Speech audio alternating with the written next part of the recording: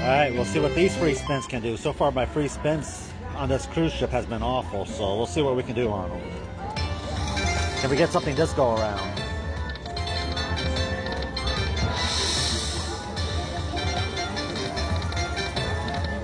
Orbs. Oh, I got line of 10. So that's $50 on those 10s.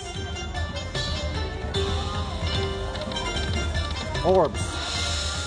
Wild, yes. 500, 500. Fi- yes. That's 500, 500, 500. I just got myself a hand pay, folks. Nice. Keep it coming. Keep it coming. Orbs. Wilds. I'll take it.